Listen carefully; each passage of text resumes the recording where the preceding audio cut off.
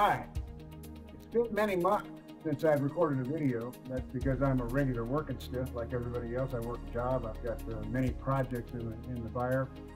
And uh, I do videos when I have time. I've taken also taken time to review the first 12 episodes and the responses that I've gotten.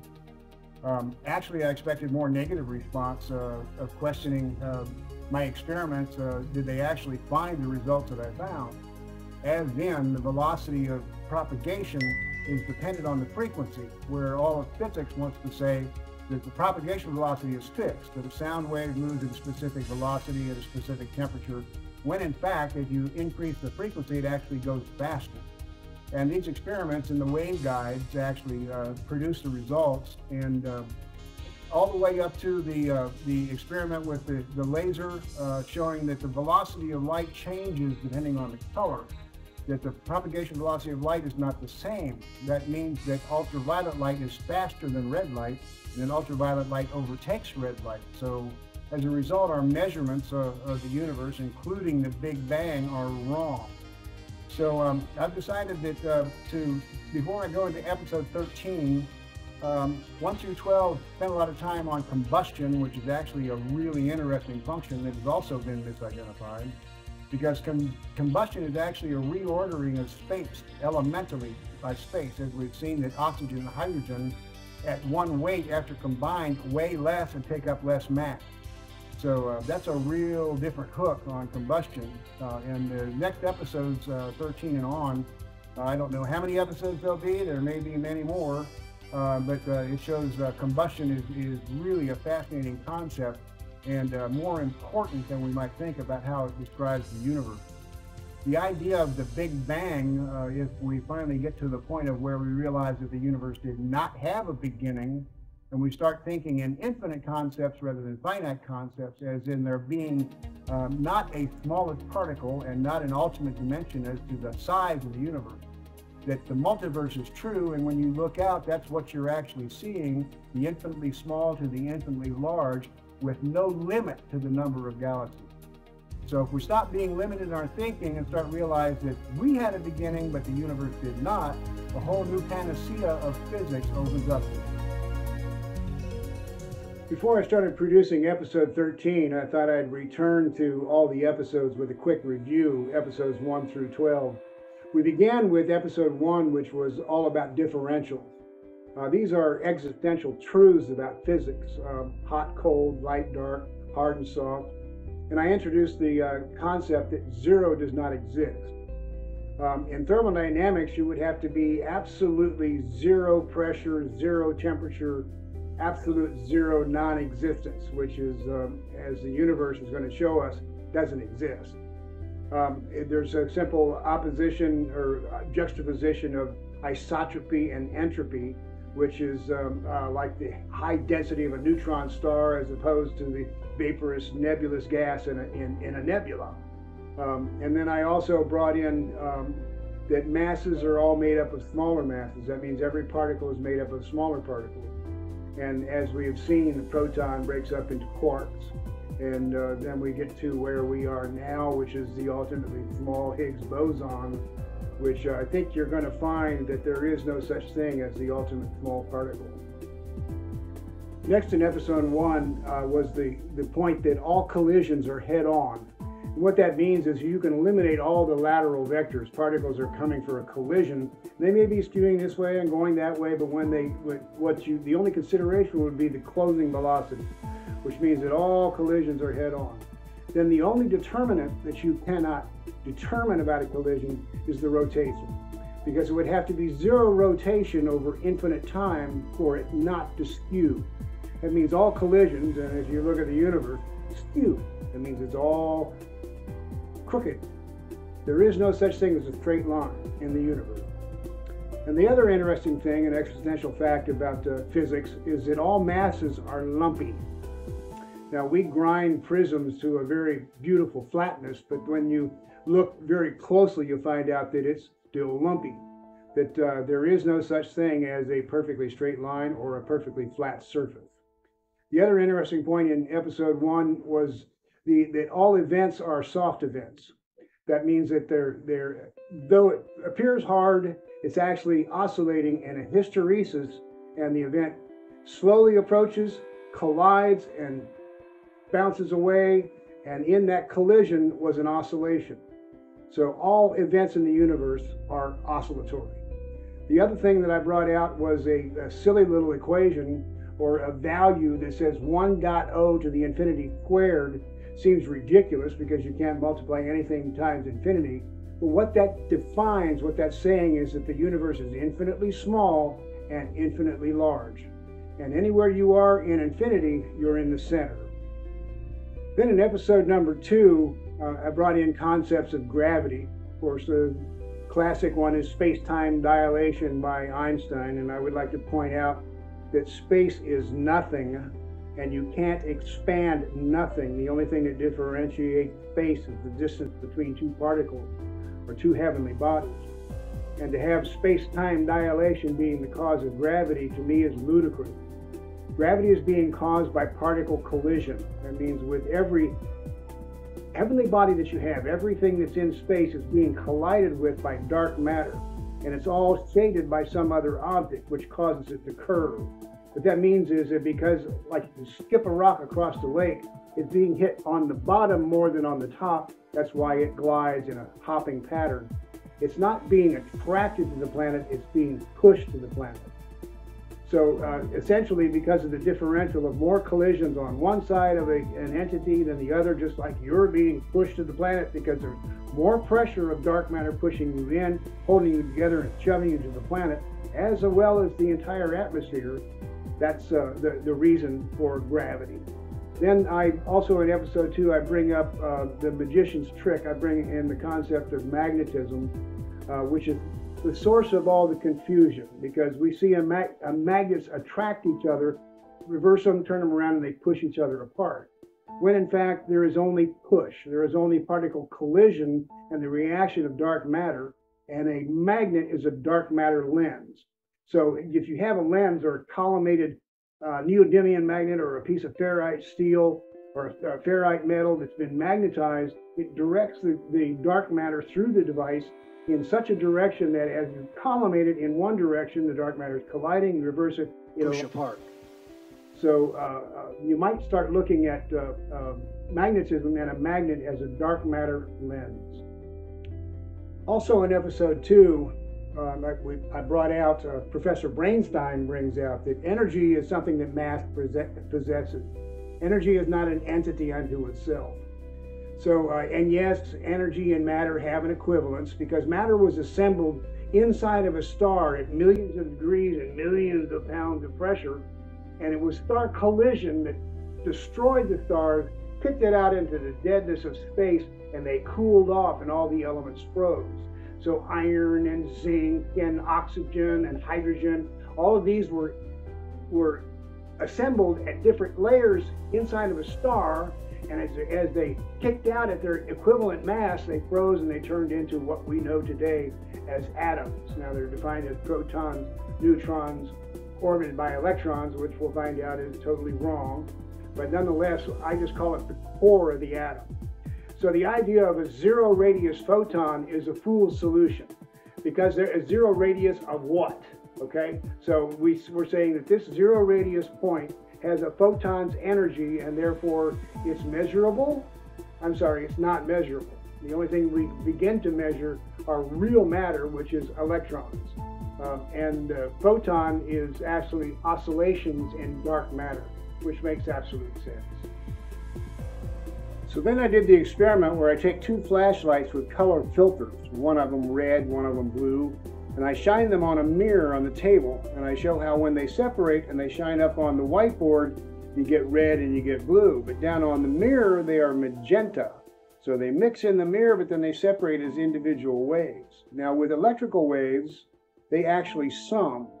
If you have two electrical waves at two different frequencies and you look at it on the oscilloscope, they sum together and they mix together and they're really not separable once they've been mixed together. So what it amounts to with light, light is waves moving through dark matter, which we'll see is a true entity.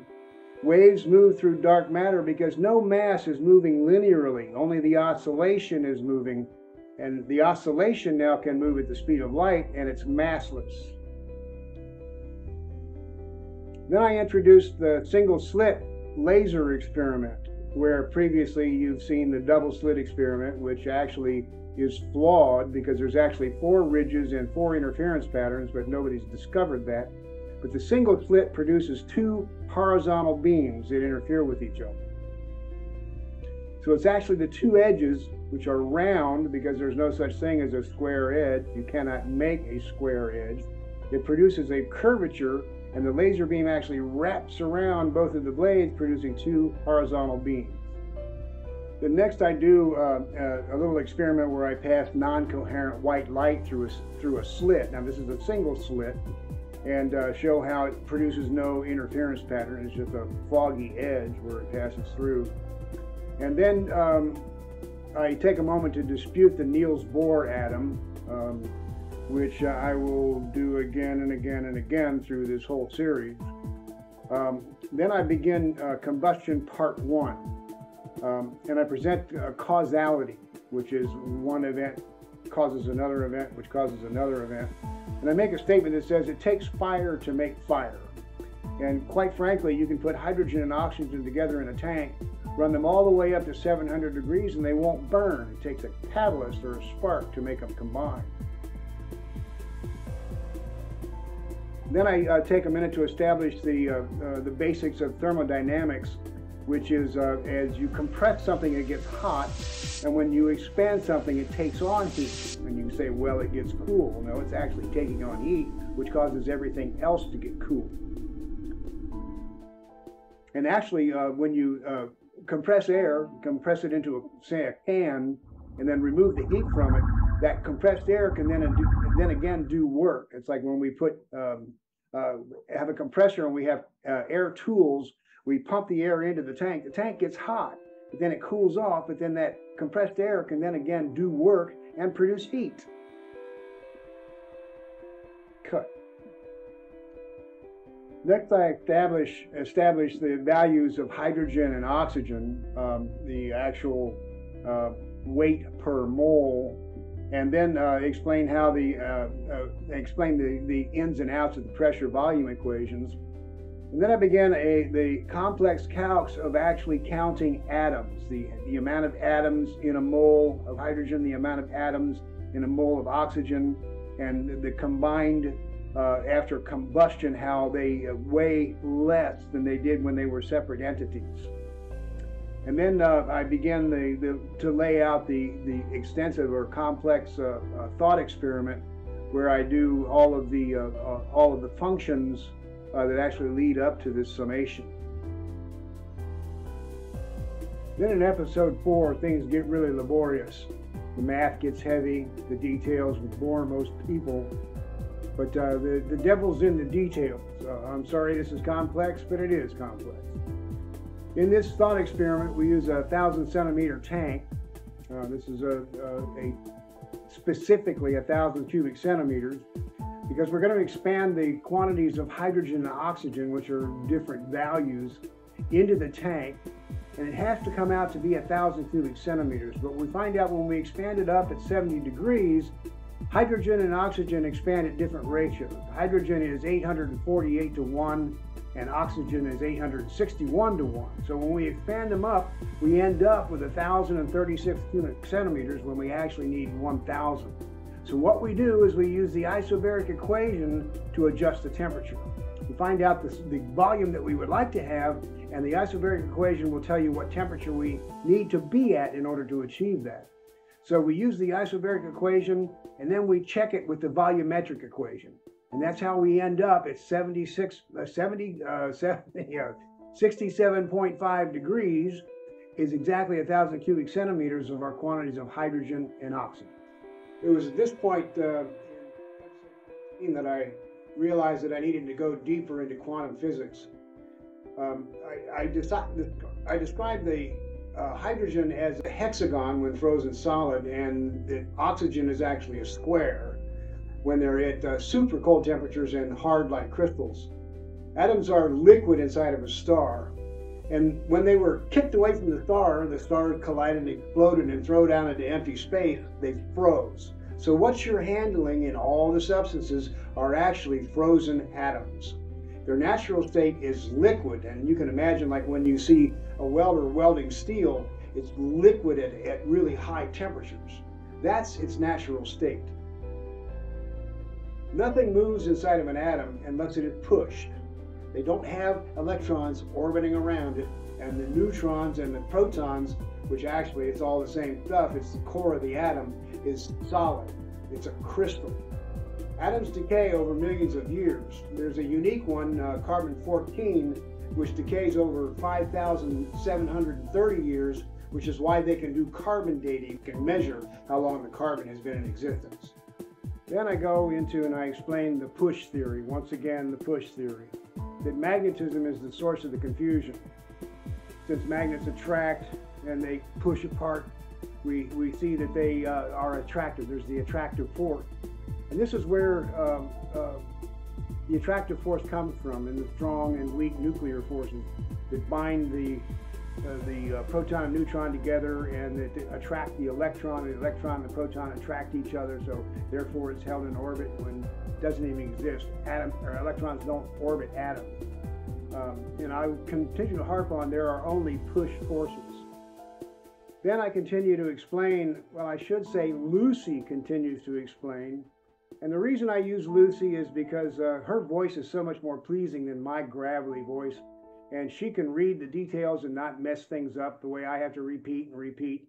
Uh, she uh, uh, she does such a better job, so that's that's why, and and she's nice to listen to. Um, and I've had people say, well, there's better voices out on the market now, but uh, it's a computer voice, and I'm content with it. Uh, the topic is what is important. So then she uh, she goes on in, in episode four and explains the layering that particles inside of an atom are in layers. They're not clumped together with protons and neutrons. It's actually layers of compressed substance, which actually goes all the way down to the dimension of dark matter, which drops into infinity. This will be explained later on in the treatise, all the way towards the end. There's actually a definition for dark matter, and you'll see that is defined, and you'll be able to finally see dark matter. And Lucy describes the, the, uh, the process of adding energy to atoms and how the action is in an atom is actually swelling. It can be oscillatory, but when you add energy to atoms, they swell up and they oscillate larger and smaller. They don't move around, they're stationary, but they get larger if you get add heat to them, they swell. It's much like the ring and ball experiment your science teacher did or should have done where they have a brass ring and a ball, the ring will not pass over the ball, but then he puts it in an alcohol burner, warms it up, and the ring will slip over the ball. That shows the expansion of atoms by adding heat energy. Then in episode four, uh, Lucy and I um, describe layering, which is prevalent throughout the entire universe. If you look at uh, the layers of the earth, there's substantial layers in even in sediments. And then you look at the layers of the sun. There are so many layers in the sun. Uh, it's all these layers where the atoms were formed. Layering is is uh, common throughout everything in the universe. And why would we think that that wouldn't maintain itself on down into the quantum scale when in fact it does? They're not clumps of protons and neutrons that are clung together by the strong nuclear force. They are actually layers of matter pushed together under huge pressure, and they themselves are in layers down to the very core of an atom, multiple layers. And that's borne out and shown in spectral analysis. What you're actually looking at, and I'll show later on, are the layers in an atom that show up in the spectral analysis of, of, of the atoms. Then in episode four, uh, dive into uh, the spectral analysis. Uh, it's interesting how hydrogen only has four lines uh, that are produced by its proton, an electron. Uh, and oxygen has 54 lines. It shows how complex oxygen is. I would say how many layers oxygen actually has. And then uh, I go into the details of how you structure the spectral analysis against the actual physical size of the atom. And you're able to actually measure the size of the layers and where they, where they reside within the atom itself. And actually, uh, spectral analysis is going to show that we can tell more about an atom than any other analysis can do. Spectral analysis will be the future. So uh, then uh, a little bit of discussion about um, uh, adding electrons to uh, to an atom actually add energy. It becomes an ion, uh, meaning to say that, that uh, as electrons are added, it's ionized, and as taken away, it becomes a negative ion. So there you have the atom sitting here, swelling up with electrical charge and decreasing in size with uh, electrons leaving um, it's actually electrons are transition, the transition matter between dark matter and actual physical matter. As we described it, electrons can be affected with magnetism and dark matter or light waves cannot. The Newtonian approach to shapes works all the way down to the quantum scale. I know that's not mysterious. I mean, it's not all, all the wonderful quantum space analysis. It's Newtonian it exists on, on a natural phenomenon. When you squeeze spheres together, they start to turn into a square. That means take three, actually you need four to start squeezing it together. What happens is they push in. They push in, and what happens is it starts to square off. So you wonder why salt crystallizes as a square. You wonder why the uh, Jack Frost on the window does all these pretty patterns because oxygen wants to be a square and hydrogen wants to be a hexagon. So they argue with each other as they're crystallizing and becoming stationary, hard crystals. Uh, they form these unique patterns. So literally, atoms uh, on the on the quantum scale are are affected by Newtonian physics. Really simple, simple pressure collision push push something into tight compaction, what happens to the spherical nature? It disappears. It turns into a crystal, which goes hexagon or square. There's only two shapes, actually three. There's a rhomboid in, in, in argon. Next in episode five, Professor Brainstein explains the air waveguide. He establishes that electromagnetic waves truly do travel at the speed of light down through the air waveguide. Then he explains the summing of electromagnetic waves and the summing of offsets. You're able to actually see the the uh, lag time as the frequencies go up and and um, they sum together. And then he demonstrates uh, the offset disturbances uh, between the, the frequencies. That as the different frequencies are too long or too short for the waveguide, how they actually sum and cause distortions in, in the standing wave. And then he talks about the time base um, that was established by using the decay of cesium, became the cesium clock, which was accurate down to nine zeros or one nanosecond. The oscilloscope used in these tests is a 400 megahertz Tektronix with a resolution controlled by crystals all the way to 100 picoseconds. Then he discusses that in uh, 1870, how the meter, the meter was a, a platinum iridium bar that uh, when placed in ice water had two marks on it, and those two marks were exactly one meter. So you can see how long, how far we've come, because in 1983 they established the, the meter to be the distance that light traveled. 3.3356 nanoseconds. That was one divided by 299, 792, 458. Then he describes the summing of electrical waves and how that is not accomplished by light waves, how light waves cannot sum, they do not sum because they are not electromagnetic. They're waves in dark matter. Next, he describes, uh, uh, he goes into extensively, again and again, harping on phase velocity as being non existent. That the group velocity and the phase velocity, that one wavelet all by itself will still diffract. It doesn't need any association with any other wave, like group velocity and phase velocity, to diffract through a prism. It is strictly the velocity of each different color. Next, he goes into sound waves and how the propagation velocity is not fundamental. And he uh, shows how uh, the learning experience of where he glued transducers onto the air waveguide, the aluminum air waveguide, and how he got a double standing wave because you get uh, sound going down through the air and through the metal and it would cross talk and it would cause all kinds of problems. So he came up with a new steel bar uh, polished with transducers glued on the end with super glue. and uh, how and then he demonstrates how the uh, uh, the the receive transducer is just as loud as the transmit transducer, transfers perfectly down through the through the uh, through the ball. And then he goes into uh, the details of how coming up in episode six, all the measurements that were taken using the sound rebar and the actual proof that the velocity of sound propagates, the propagation goes up as the frequency goes up. Now in episode six, there's all the details of the sound waves going through the, the steel rebar. Now the standing waves uh, prove that the propagation goes up as the frequency goes up. Now the truth is in the details, and this is complex. Many of the waveforms all look look the same, but the sounds were tested at a, at a specific laboratory temperature and uh, all the way through the full gamut, all the way up to 20 megahertz. And then again, again uh, disputes phase velocity, but he, you know, he can't get off something that is so important that it's a complete misobservation. And he also disputes uh, linear waves. Uh, you throw a pebble into a pond and you see the rings going out, and that's the linear wave. But what you're not seeing is the full three-dimensional wave that actually occurred. You have light waves, you have sound waves, you have mechanical waves, and it all happened in three dimensions. Linear waves, you're only seeing a slice. It's not the truth. Then Lucy does a good job at uh, describing all the errors in phase velocity, and they uh, finally say that you know they're going to stop harping on it. I think they've made the point.